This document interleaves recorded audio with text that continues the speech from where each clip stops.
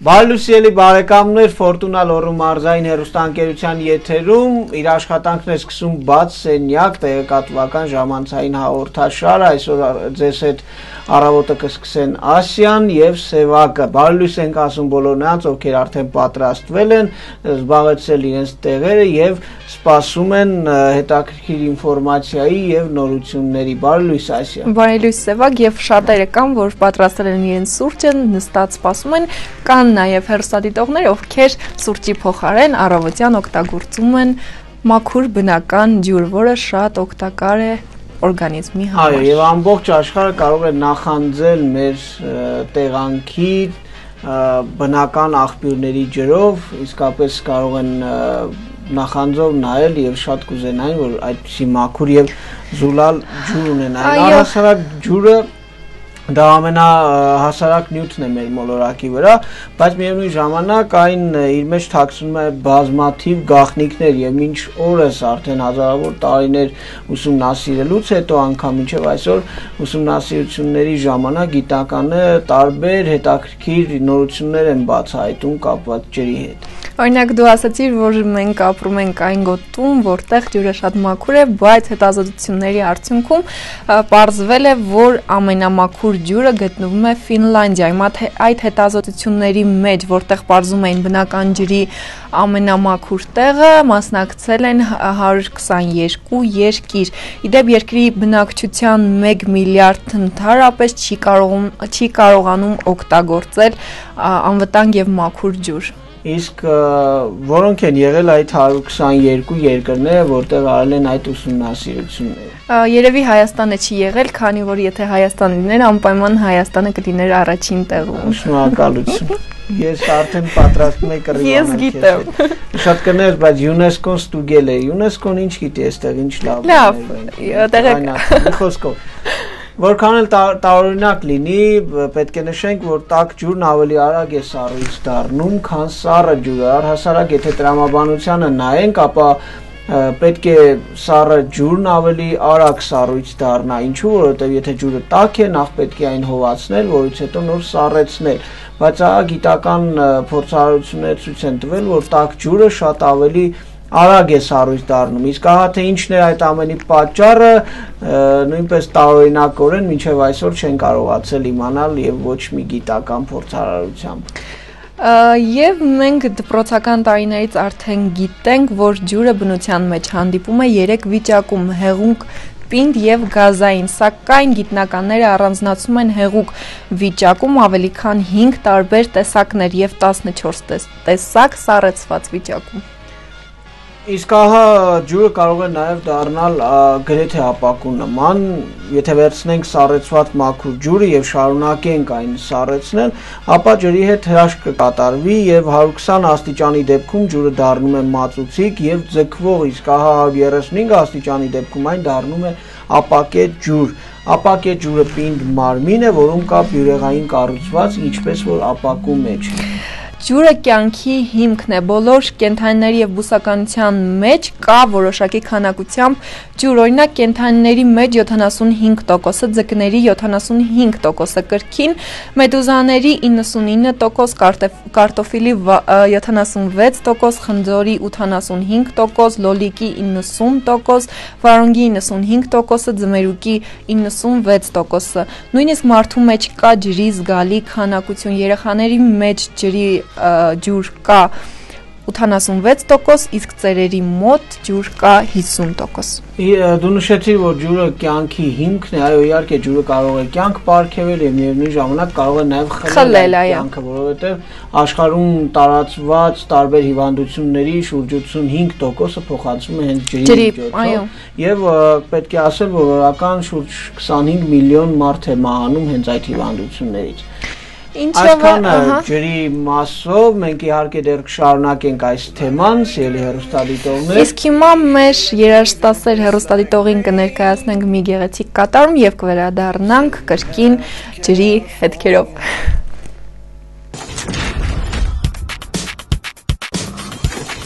Բաց սենյակը շարունակում է իր աշխատանքը եւ մենք ասենք, որ առաջին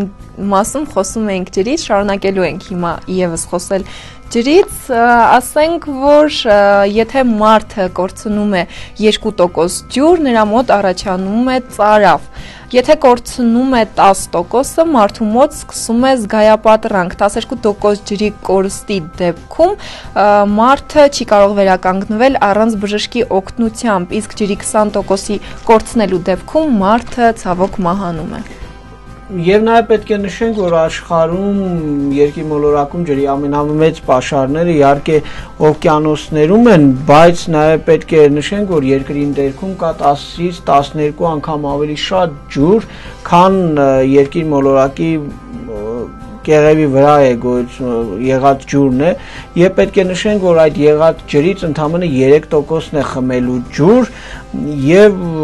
պետք է նշենք նաեւ որ հենց այսքանն է կարելի ասել ամբողջ երկիր մոլորակի խմելու ջրի pašարները բայց նույնիսկ այդ 3%-ից ոչ բոլորն է որ կարողանում են օգտվել Եվ իհարկե ջրի միջոցով կարելի է պայքարել ավելորդ քաշի դեմ։ Առաջին հերթին պատճառն այն է, որ մարդ դադարում է խմել զանազան քաղցր, գազավորված եւ կալորիականություն ունեցող խմիչքներ, իսկ երկրորդը դա այն է, որ ջուր ըմպելուց հետո ցանկությունը քչանում է քաղցր բան ուտելու։ Եվ նաև սա պետք է իմանա յուրաքանչյուր ոք, որ ջուրը սրտի առողջության համար բավականին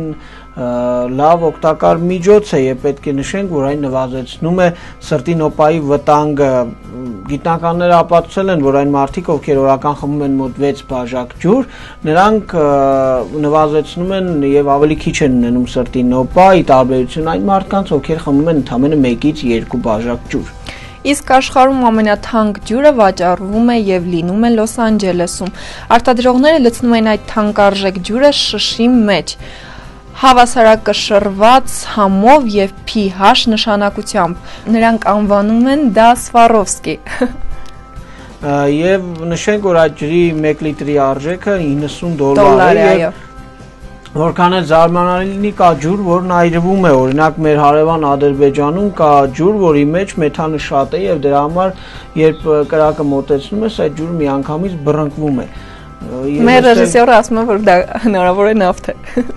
դե համենայն դեպս երևի իրենք ջրի տեղ են դրել խմել են եւ դրա համար էլ դրա ասում եմ դրանց ջուրն էլ մի բան չի ինչեր է չշեղվենք թեմայից եւ նաեւ նշենք որ Սիցիլիայում կա մի լիճ որի ընդերքում կան թթվածնի շատ մեծ pašարներ եւ հենց այդ թթվածնի pašարները նաեւ թունավորում են հենց այդ լիճը, որի ընդերքում գտնվում են։ Ադրբեջանի դեպքում շատ լավ է, քանի որ կարող ենք շատ հեշտ վառել նրանց իրենք ինձ թվում է ջուրը խմում են, դրա համար էլ այս կյանքից վառված ապրում են։ Լավ։ Ինչև է քաղաքականացնենք էլի բարեկամներ։ Այսքանը ջրի մասով ավարտենք ջրի թեման, Վարսարդարում եւ կվերադառնանք։ Այո, շարունակենք մեր եթերը մնացեք մեզ հետ։ Շարունակում ենք մեր եթերը սիրելի բարեկամներ եւ բոլոր նրանց, ովքեր հենց նոր են միացել մեր ընթացքին, ասում ենք բարի լույս։ Խմեք մի բաժակ ջուր, քանի որ բարձեցինք, որ այն շատ օգտակար է։ Այո, եւ լարեք ձեր աչքերը, լարեք ձեր տեսողությունը եւ հետեւեք մեր ընթացքին։ Այս պահին մենք խոսենք աչքերի մասին եւ մի մի քանի հետաքրքիր տվյալներ կներկայացնենք ձեզ։ Մենք առհասարակ շատ անգամ պատկերացում էլ չունենք, թե աչքերը ինչքան բարդ կառուցվածք ունեն իրենց մեջ, եւ առհասարակ աչքի մեխանիզմը բաղկացած է միլիարդավոր փոքր դետալներից, որոնք էլ հենց մեզ թույլ են տալիս ընկալել շրջակա միջավայրը։ Եվ այս պայն մենք կփորձենք մի քանի հետաքրքիր փաստ ներկայացնել հենց աչքերի մասին։ Օրինակ միաժամանակ դուք կարող եք տեսնել մեկ այլ մարդու ակնախնձորի միայն 1/6-րդ մասը։ Եվ հիմա ես կհայտնեմ մի շատ հետաքրքիր փաստ, մի շատ ուրախալի փաստ, որ արական սերի յուրաքանչյուր 12-րդ ներկայացուցիչ դալտոնիկ է։ Յանալի է։ Ոչինչ, ես քիչ հետո մեկ այլ փաստ կներկայացնեմ, որով 10-ով 0 կանենք իգական սերի ներկայացուցիչներին, սիրելի արական սերի ներկայացուցիչներ, բայց այս պահի նշեմ, որ աչքի տրամագիծը կազմում է մոտ 2.5 սանտիմետր եւ կշռում է մոտ 8 գրամ։ Ակնաբիբերը լայնանում են 45%-ով սիրելիներին նայելուց։ Մայացեղի բնակիչները շլությունը գրավիչ էին համարում եւ փորձում էին այնպես անել, որ իրենց երեխաները շիլ ծնվեն։ Եվ իհարկե մարդկանց աչքը կարող է տարբերակել մոխրագույնի 500 երանգները։ Իսկ ահա աչքերը սկսել են զարգանալ մոտ 550 միլիոն տարի առաջ եւ ամենապարզ աչքեր ունեցել են միաբջիջ կենթանիները սպիտակուցային ֆոտոռեցեպտորների տեսքով։ Մոտ 10000 տարի առաջ բոլոր մարդկանց աչքերը շագանակագույն էին։ Մի անգամ Սև ծովի շրջանում բնակվող մարդկանցից մեկի մոտ գենետիկ մուտացիա է կատարվում եւ ի հայտ է գալիս երկնագույն աչքերը։ Մարդու աչքը 1 վայրկյանում կենտրոնանում է 50 առարկայի վրա։ Եվ իհարկե մենք այս հետաքրքիր թեման կշարունակենք մեր հյուրին ընդունելուց եւ ճանապարհելուց հետո։ Այո, եւ ես ուզում եմ հավատացնել, որ նաեւ մեր հյուրն է շատ հետաքրքիր լինելու եւ բավականին հետաքրքիր զրույց է սպասվում մեզ։ Իսկ հիմա մի հետաքրքիր տեսանյութ կդիտենք, որից հետո կշարունակենք մեր եթերը։ Մնացեք մեզ հետ։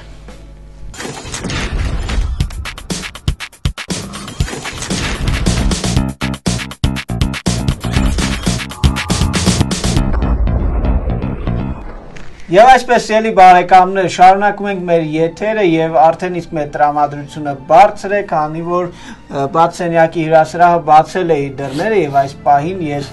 ուզում սիրով ներկայացնել մեր հյուրին Վանաձորի Հովանես Աբելյանի անվան պետական դրամատիկական թատրոնի դերասան, Վանաձորի քաղաքապետարանի Բոհեմ կամերային թատրոնի գեղարվեստական ղեկավար, Հայաստանի Հանրապետության արվեստի վաստակավոր գործիչ, իմ ուսուցիչը Մայիս Սարգսյանն է այսօր մեզ հյուր եկել։ Բարի լույս։ Բարի լույս, ամենակարևորը վերջինն է։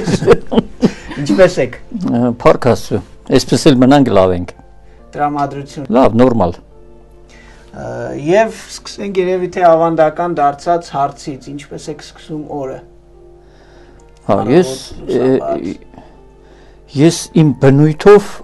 գիտեք, չէ, կան բույր, որոնք գիշերը չեն քնում, առավոտ կա կողմ նոր քնում են ու ամբողջ ցերեկը ես հակառակն եմ։ Ես երեկոյան շուտ եմ պարկում, առավոտյան շատ շուտ արթնանում։ Լույսը չբացված ես արթուն եմ ու իմ օրը սկսվում է դրանով, արևածագով որը իմ տրամադրության վրա լավ անդրադառնում։ եզակի դեպքերից էր, որ չասացիք սուրճ եմ խմում կամ Չէ, սուրճ չեմ խմում։ Մանավանդ առավոտները անոթուն երբեք չեմ խմում եւ երեկոյան էլ սուրճ չեմ խմում։ Շատ հազվադեպ ցերեկները, եթե հետաքրքիր մարդու հետ եմ լինում, խմում եմ։ Շատ լավ, խոսենք սկզբից երևի թե Հովանես Աբելյանի անվան պետական դրամատիկական թատրոնից։ Իհարկե սկզբից Աբելյան։ Ունեք այնտեղ ճանաչված, սիրված եւ հաջողված դերեր, խնդրեինք դրանցից մի քանիսը առանձնացնել եւ Հա, մի քանիսը կան, որ Աբելյանի անվան թատրոնում նու ես չեմ ասում դա դա ասել են թատերագետները, քննադատները եւ ժողովուրդը, որ հաջողված դերեր են դրանցից առաջինը իմ կարծիքով դա շպրիխի դերն էր դիմականդես ներկայացման մեջ, որը շրջագայեց ամբողջ սովետական միությունում նախքին շատ տեղեր եղավ եւ բարձր գնահատական ստացավ ներկայացումը ընդհանրապես նաեւ այդ իմ դերակատարումը իմ կարծիքով հաջողված դերակատարություններ նաև Ռուզան ներկայացման մեջ իմ Ջոլայի դերակատարումը թաթար զորաբարի կերպարը կարծում եմ որ հաջողված էր իմ կողմից շատ սիրված կերպար էր եւ լավ ներկայացում ցավոք շատ կարճ կյանք ունեցավ դա Եզովպոս ներկայացումներ որտեղ ես Եզովպոս էի խաղում Եվ վերջին տարիներին մի քանի ներկայացումներ շատ սիրված իմ դերերից էր Ալխո ներկայացման մեջ Գիքորի դերը, որը բեմադրեց այդ իմ նախկին թվարկածները Վահե Շավերդյանի բեմադրություններն էին։ Իսկ Գիքորը եւ Ռոմեո Ջուլիետ ներկայացումները, որտեղ ես հաճույքով խաղում էի եւ Ռոմեո Ջուլիետի մեջ իմ խաղացած Հայր Լավրենտիոսի դերակատարման համար մրցանակ ստացա, արտիստ մրցանակ։ Դրանք բեմադրել էր Միշա Կոտոյանը, որը մի 2-3 տարի աշխատեց մեր թատրոնում ու գնաց Ամերիկա գնաց իր հարազատ հայրենիքը այդպես ասենք գնաց չեկավ դրանք են ու ամենավերջի դերը որ ես նույնպես սիրում եմ ինձ դուր է գալիս եւ ներկայացումը եւ այդ կերպարը որ խաղում եմ Ղարաբաղցու կերպարը դարձյալ Վայ Շավերդյանի բեմադրությունն է աշնանային իրիկնամոտ կամ ծերանոց ներկայացումը որ հիմա մեր ռեպերտուարում կա ու խաղում ենք հաճույքով եմ խաղում եւ կարծում եմ հաջողված կերպարը նաեւ հրադադար ներկայացման մեջ Գևորգի կերպարը որը Սամվել Խալայցյանը ինձ խոստովանեց որ այդ կերպարը գրելիս հենց ինձ այի նկատի ունեցել կոնկրետ այդ դերը ստեղծելից այդ կերպարը ստեղծելիս շատ լավ եւ նաեւ ես իմ մեջ տպավորված է շատ լիրարքա ներկայացումից։ Ահա, ուրեմն լիրարքան ես մոռացա ասեմ, լիրարքան էլ իհարկե իհարկե առաջիններից մեկը լիրարքան պետք է ասեի նաև պետք է ասեմ, որ մասշտաբային, որպես մասշտաբային ներկայացում, իսկ մեր թատրոնը, Աբելյանի անվան թատրոնը մինչև երկրաշարժը իր խաղացանկում ուներ մասշտաբային ներկայացումներ որոնցով ինքը հայտնի դարձավ Եվրոպայում նաև. Ֆրանսիա, Շվեյցարիա, Պորտուգալիա եւ այլն։ Այդ մասշտաբային եթե այդպես գնահատենք, վերջի տարիների ամենամասշտաբային ներկայացումը երևի Լիրարքան էր, որտեղ նույնպես իմ խաղացած դերը նո կարելի ասել հաջողված էր, ինձ ամենայն դեպս դուր էր գալիս, Ես կարող եմ դերի վրա աշխատանքի process-ը շատ դուր գալիս։ Ուրախ եմ։ Նաև շատ ուրախ եմ, որ այդպես պահեր էին կարողանում ապրել այդ պահին։ Ես կուզենայի նաև անպայման հիշել, որովհետև եթե չեմ սխալվում, այդ ներկայացում եւս շատ կարճ կյանք է ունեցել, բայց մի փոքր շրջան հանդիսատեսը հասցրել է վայելել գիշատիչների խնջույք, եթե չեմ։ Դե դուք ինձանից ավելի լավ եք հիշում խաղացանքը։ Ես ուղղակի մոռանում եմ։ Այդ ընթացքում արցակուրտ է եկել ծառայությունից եւ հասցրեցի այդ ներկայացումը նայել, ցավոք առաջի ու վերջին անգամ ես դրանից հետո իմացա որ Եթե մի քիչ բան անենք, ժամանակ ունենանք մտածելու, գուցե էլի ներկայացումներ կան, որոնք ես բաց եմ թողել, բայց գիշատիչների խնջույքն էլ մեր թատրոնում լավ ներկայացումներից մեկն էր, որը երիտասարդ ռեժիսոր Սարգիս Ավետիսյանը բեմադրեց։ Մանուկյան։ Սարգիս Մանուկյանը ներողություն բեմադրեց երիտասարդ տղա էր իր առաջի աշխատանքներ ոնց որ մեր թատրոնում մենք էլ ամբողջ խումբը ողջավորված էր որովհետև դա հայ հեղինակ էր եվրոպացի հայ Վահե Քաչա ու գործը ինքն էլ էր հետաքրքիր եւ դա կարող եմ ասել որ այդ Վիլկերի կերպարն էլ շատ հաջողված էր գոնե ինձ համար։ Ամենայն դեպս ինձ էլ էր դուր գալիս։ Որպես հանդիսատես շատ հաջողված։ Գիտեք, ներկայացում կա, որ ներկայացումը խաղա խաղալն է դուր գալիս դերասանին։ Կա որ ստեղծագործական process է։ Իմ իմ մոտ ներկայացումների մեծ մասը այն աշխատանքը երբ որ տարվում է մինչև ներկայացումը հանդիսատեսին հանձնելը, այդ process-ն է ինձ շատ դուր գալիս, եթե ինձ դուր եկավ, ուրեմն լավ է ստացվում։ Եվ կերպարը եւ ընդհանուր ներկայացումն էլ երևի։ Այդ դուք պետք է ասեք կամ հանդիսատեսը։ Շատ լավ եւ նաեւ ես գիտեմ որ դուք ունեք մի շարք դերակատարումներ ֆիլմերում եւ ոչ միայն հայկական արտադրության, այլ նաեւ արտասահմանյան ֆիլմերում, հա։ որի մասին շատ քիչ են տեղյակ գոնե մեզ մոտ, գոնե մեր հետաքրքրասեր հանդիսատեսը շատ քիչ է տեղյակ։ Եվ ձեզ ավելի հաճելի է ֆիլմերում հանդես գալ, թե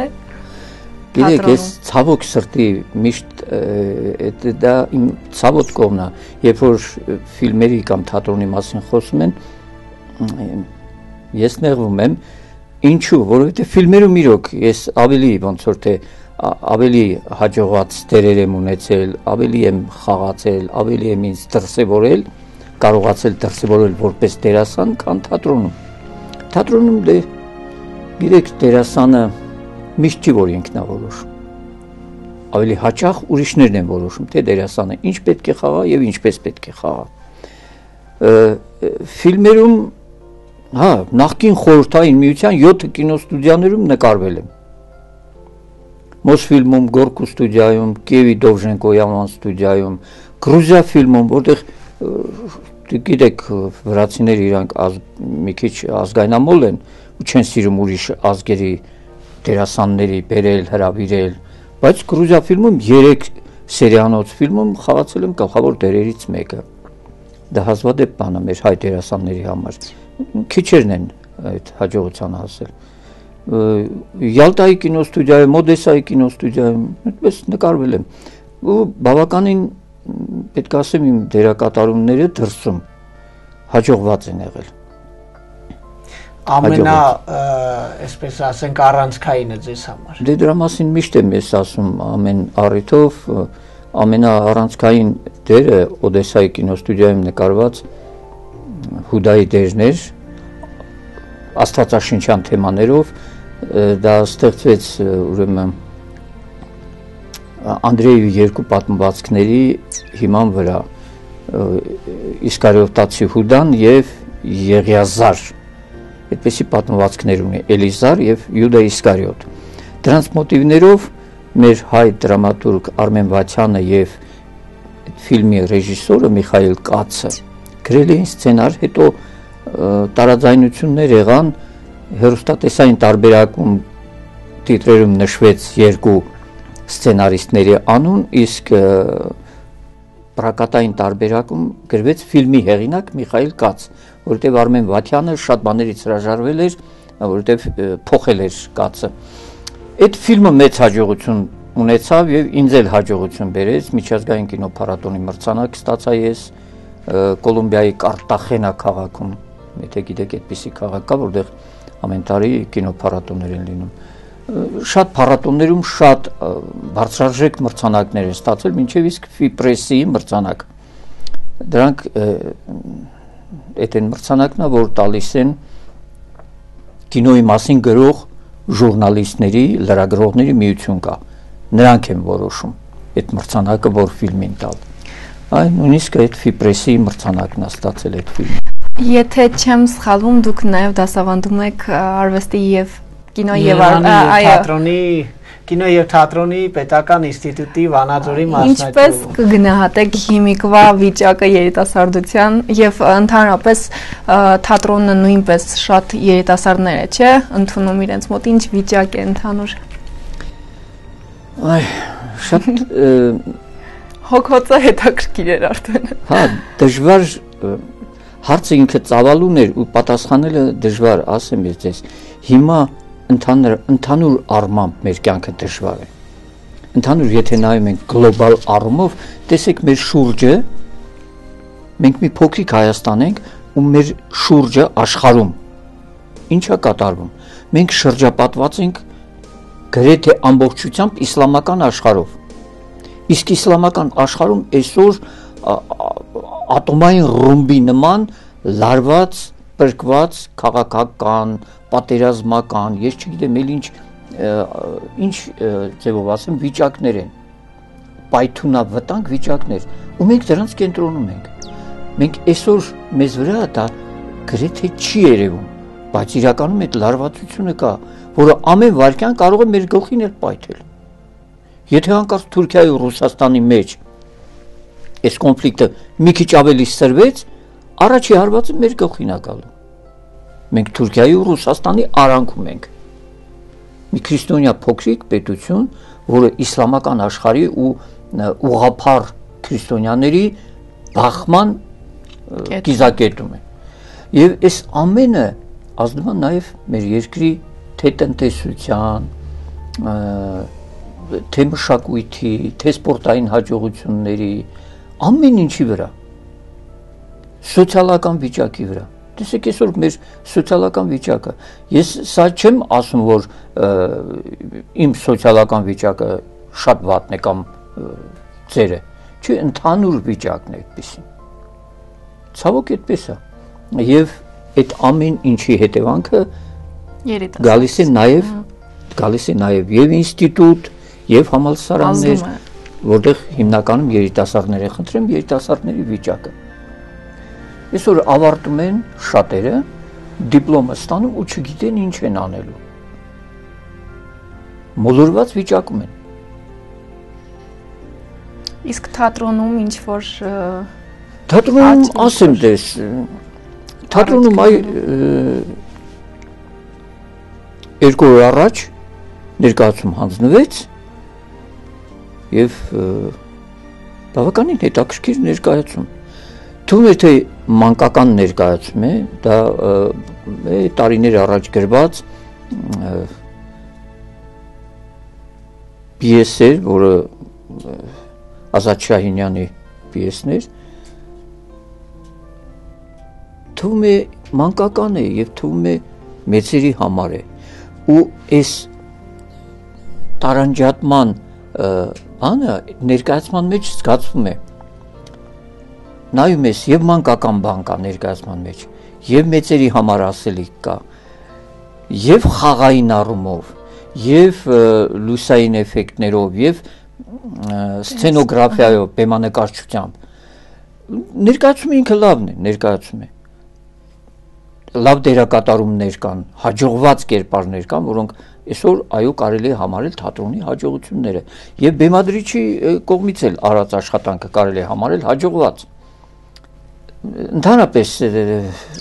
կյանքում անթերի ոչինչ չկա, թատրոնում առավել եւս երբեք չի լինում այնպես որ ներկայացումը անթերի լինի ամեն նույնիսկ ամենատաղանդավոր բեմադրիչի կողմից արված ներկայացումը այսօրվա ներկայացումն էլ որ պետք է դիտի հանդիսատեսը այդպեսին էր բայց ներկայացում է գեղեցիկ տրամադրող լավ տրամադրություն ստեղծող բարություն քարոզող այնպես որ սա նաև թող գովաստ հնչի որ հետաքրքիր ներկայացում գան ներկայացումը նայել իհարկե դուք ձեր ստեղծագործական կյանքի մի մեծ շրջան, մի ամբողջ շրջան անցկացրել եք Աբելյանի անվան թատրոնում, բայց այդ ընթացքում հասցրել եք նաև ստեղծել մեկ այլ թատրոն ես գոնե տեղեկացված եմ որ դուք Վանաձորում գործող Բոհեմ կամերային թատրոնի հիմնադիրներից մեկն եք խնդրեի նաև այս մասով ճիշտ ասեցիք հիմնադիրներից մեկը որովհետև երբեմն մարդիկ ասում են հիմնադիրը առանց իմ գիտության ասում են հիմնադիրը դա այդպես չի Բոհեմ կամերային թատրոնը հիմնադրվել է 3 մարդու կողմից։ Դա եղել է Գրետա Մեջլումյանը, Հանրապետության վաստակավոր արտիստուհի, Վրուժ Հարությունյանը եւ Մայիս Սարգսյանը։ Մենք երեքով ստեղծեցինք։ Հիմա տեսեք,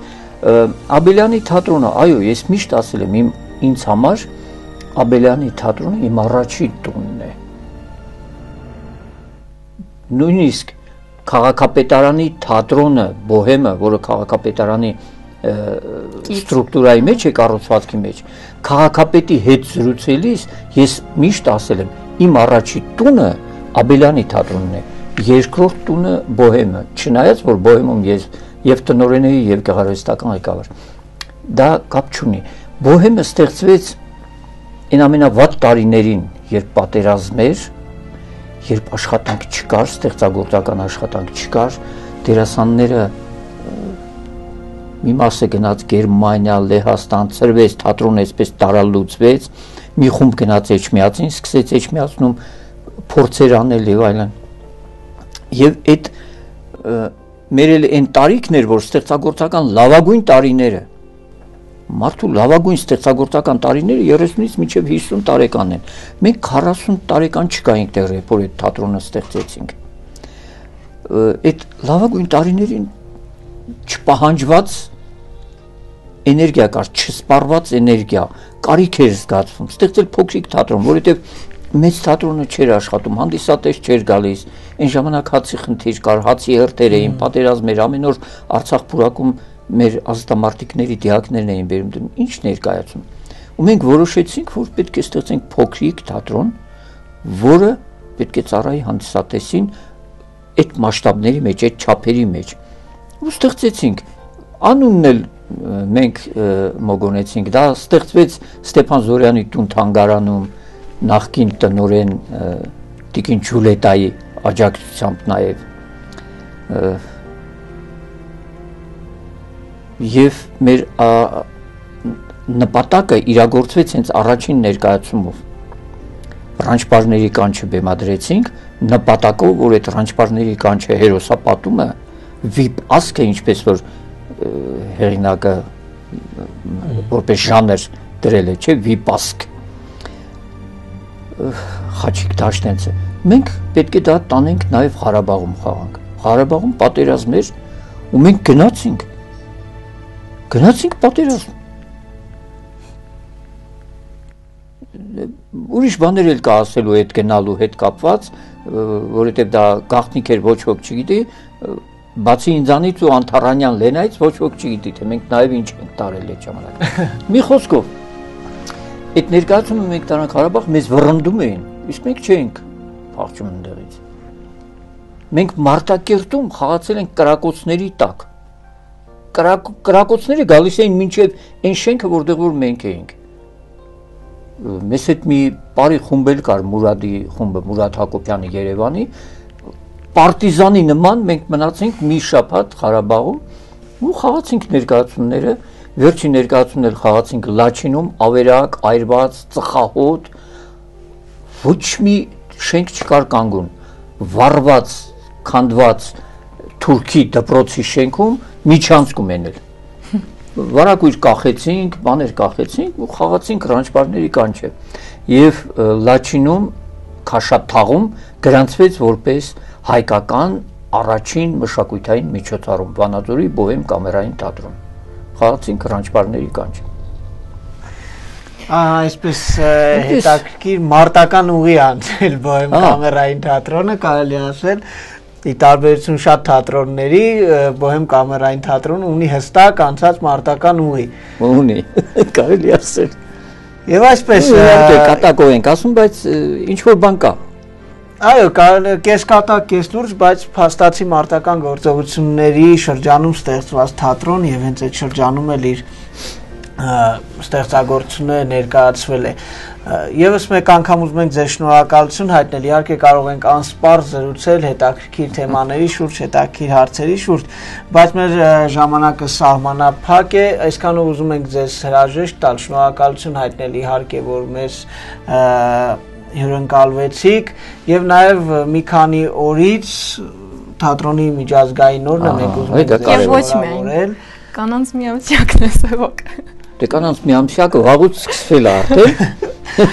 Այնուամենայնիվ 27-ին նաև թատրոնի միջազգային օրն է։ Այդ առիթը օգտագործելով առաջի հերթին իմ գոլեգաներին բոլորին շնորհավորել թատրոնին ծառայող ընդհանրապես մշակույթին ծառայող բոլոր մարդկանց, հատկապես թատրոնին ծառայող ոչ միայն ստեղծագործող,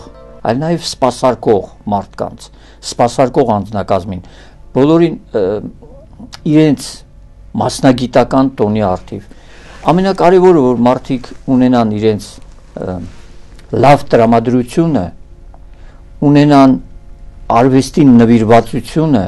մինչև վերջ նվիրվածությունը կիսատ պրատ նվիրվածությունը արվեստը առավել եւս թատրոնը չի ընդունում մերժում է ինչպես ասենք մարդու մարմնի մեջ մտնում է ինչ որ մի օտար մարմին ինքը դուրս է մղում այդպես բոլորիդ շնորհավորում եմ մեր մասնագիտական տոնի արդիվ ստեղծագործական հաջողություններ եմ ցանկանում բոլոր բեմադրիչներին, բոլոր դերասաններին, սպասարկող անձնակազմի մեր թատրոնի եւ ընդհանրապես բոլոր թատրոնների Վանաձորում Փարքասում մի քանի թատրոններ կան, բոլորին՝ տեխնիկային թատրոն, բոհեմ կամերային թատրոն, երգի թատրոն, ասմունքի եւ պոեզիայի թատրոն,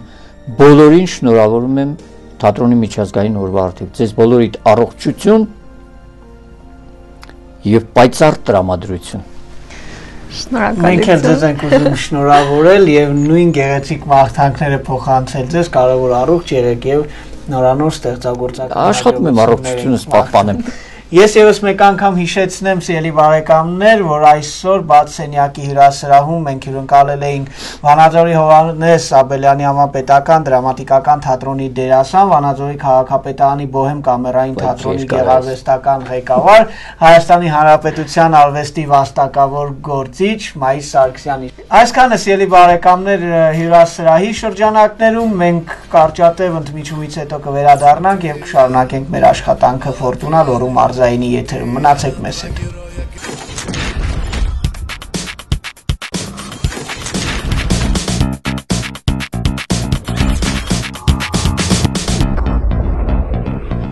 Շարունակում ենք սիրելի բարեկամներ եւ այժմ կշարունակենք այն թեման, որը կիսատ թողեցինք, ընդմիջեցինք հյուրասրահով։ Մենք խոսենք աչքերի մասին եւ նաեւ կներկայացնենք հետաքրքիր տվյալներ աչքերի վերաբերյալ, օրինակ աչքերն օգտագործում են ուղեղի ռեսուրսների 65%-ը։ Իսկ Ջոնի Դեփի ցախ աչքը կույրը, իսկ աչը կարճատես։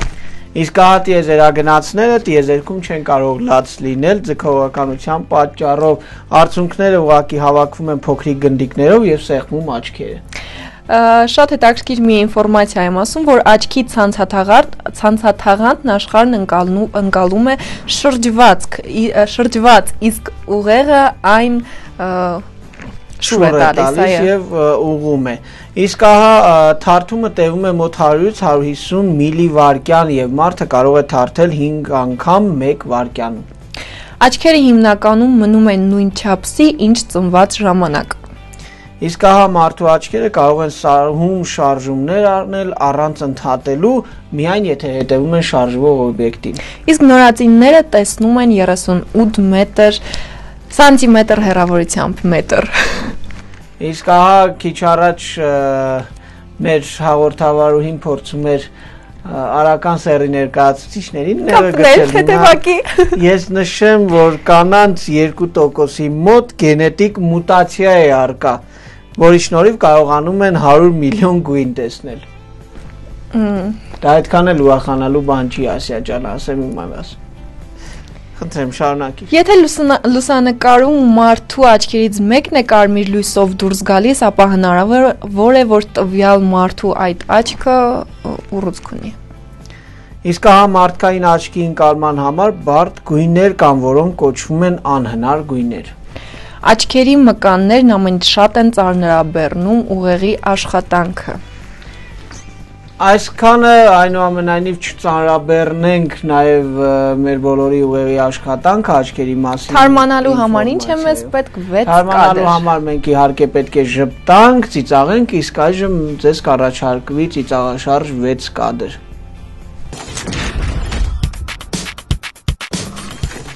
Բաց Սենյակը շարունակում է իր աշխատանքը Ֆորտունա մարզային հերոստանգերության տաղավարում եւ Մենք ուր ենք հասել, հասել ենք տատիկի մոտ։ Մենք հասել ենք տատիկի դեղատոմսին եւ այսօր կխոսենք գեղեցիկ ու երիտասարդ մաշկ, թեփի ու ճաղատության դեմ պայքար, թարթիչների վերականգնում, այս թեմաների մասին կխոսենք եւ իհարկե այս ամենը հնարավոր է անել Չիչխանի բաղադրատոմսով։ Եվ իհարկե դեմքի սնուցման համար պետք է պատրաստեք դիմակ չիչխանի հյութով, յուղով եւ ձվի դեղնուցով, թեյի ամեկից 1 թեյի գտալ 15 րոպե դեմքին պահելուց հետո պետք է գոլ ջրով լվանալ դեմքը։ Իսկ հա կես թեյի գտալ չիչխանի հյութ, 1 թեյի գտալ մեղր եւ մի քանի կաթիլ յուխարում թքսեք դեմքին եւ պարանոցին 15 րոպեից լվացեք նախ տակ, հետո սառը ջրով։ Իսկ այս դիմակն օգտակար է մաշկի երիտասարդացման համար։ Եթե քամուց եւ սառը օդից կոշտացելու ճակճկվել են ձեր շրթունքները, օրական մի քանի անգամ չիչխանի յուղ քսեք շրթներքի փոխարեն։ Իսկ ահա Չիչխանի հիյուղը անփոխարինելի է վնասված քիմիական ճառագայթումներից կամ գունաթափումներից վնասված մազերի վերականգնման համար։ Պարզապես անհրաժեշտ է յուղը քսել գլխամաշկին, որպեսզի հասնի մազարմատներին եւ կվերականգնի դրանք։ Թեփից ազատվելու համար խառնեք 1 ճաշի գտալ չիչխանի եւ զեյթունի յուղը։ Մերսող շարժումներով քսեք այն մազերին եւ սպասեք կես ժամ, հետո լվացեք։ Արեք դա շաբաթական 2-ից 3 անգամ, 2 ամսից թեփը կվերանա։ Սա լավ մեթոդ է նաեւ մազերի չորության դեմ պայքարելու համար։ Պետք է միայն զանգվածին ավելացնել 1 ձու։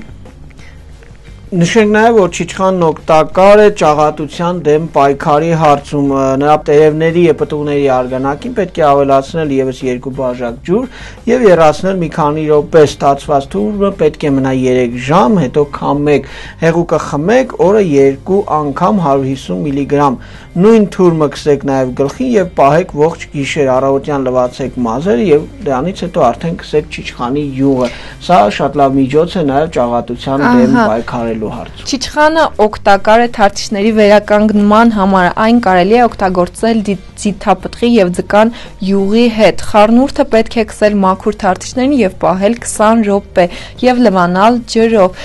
Պետք է ասենք, որ պետք է շատ զգուշ լինել, քանի որ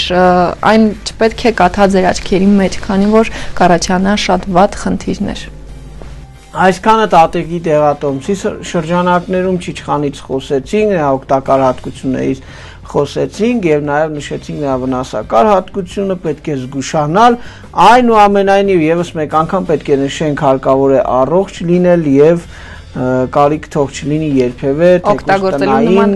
տատիկի դեղատոմսի միջոցով բուժումների Այսքանը այս հատվածում մեր հաղորդման սիրելի բարեկամներ, կարճատև դաթարից հետո կվերադառնանք եւ կշարունակենք մեր ընթացքը։ Շարունակում ենք մեր ընթացքը եւ բարելույս ենք մաղթում նրանց, ովքեր միացել են մեր ընթացքին, սակայն մի քիչ ուշ, քանի որ արդեն հասել ենք մեր վերջին կետին եւ ասենք, որ արդեն մի քանի հաղորդում ենք անդրադառնում ենք այս հետաքրքիր թեմաներին, հանճարներ թե հոգեկան հիվանդներ, այսօր եւս պատրաստել ենք ձեզ համար մի քանի հանճարեղ մարդկանց տարօրինակությունները եւ կներկայացնենք ձեզ։ Այո, նշենք, որ գրեթե բոլոր հանճարեղ մարդիկ ունեն իրենց փոքրիկ տարօրինակությունները եւ հենց այդ տարօրինակությունների շարքից եւս մի քանիս այժմ ձեր ուշադրությանը կներկայացնենք։ Գերմանացի կոմպոզիտոր Յոհանս Բրամսը սիրում էր իր կոշիկները մաքրել։ Նա պնդում էր, որ այդ ընթացքում էր իր մտքում ծնվում լավագույն մտքերը։ Իսկ ահա Հիտլերը շատ է սիրում ուսումնասիրել տարբեր մարդկանց ձեռքի ափերը, նույնիսկ նա ուներ մի ամբողջական գիրք ալբոմ, որտեղ պահպանում էր բոլոր լուսանկարները տարբեր մարդկանց ձեռքի ափերի եւ նա հպարտությամբ այդ ալբոմը ցույց էր տալիս իր բոլոր հյուրերին եւ ընդ որում հպարտանում, որ իր ձեռքի ափը շատ նման է Ֆրիդրիխ Մեծի ափին եւ Չերչիլը անտարբեր չէր խաղալիք զինվորների հանդեպ եւ նա տանը ուներ մի հսկա զորք եւ խաղում էր դրանցով Իսկ ահա Դիքենսը յուրաքանչյուր 50-րդ էջը գրելիս խմում էր մեկ բաժակ տաք ջուր։ Իսկ Հանս Քրիստիան Անդերսոնը մինչև կյանքի վերջ գրում էր սարսափելի քերականական սխալներով։ Նա հսկայական գումարներ ծախսում իր աշխատանքների ստուգման համար։ Իսկ ահա Բեթհովենն ինչ որ բան գրելուց առաջ գլուխը մտցնում էր սառը ջրի մեջ եւ միևնույն ժամանակ Կլեոպատրան միշտ շպարված էր գրեթե ոչ ոք նրան չի տեսել առանց շպարի, շատ հետաքրքիր է։ Սովորական կանացի ինչ որ վիճակ։ Ոչ, էսթետիկ։ Այնուամենայնիվ, սիրելի բարեկամներ, Այսքանով ուզում ենք ավարտել մեր եթերը այսօրվա իհարկե եւս մեկ անգամ ձեր բոլորիդ մաղթելով գարնանային բարձր տրամադրություն, ժպիտներ, ուրախ գարնանային թարմություն եւ առողջ եղեք իրոք։ Այո, այսքանը սիրելի բարեկամներ ավարտեցինք մեր եթերը, մնացեք խաղաղությամբ կհանդիպենք։ Առողջ եղեք։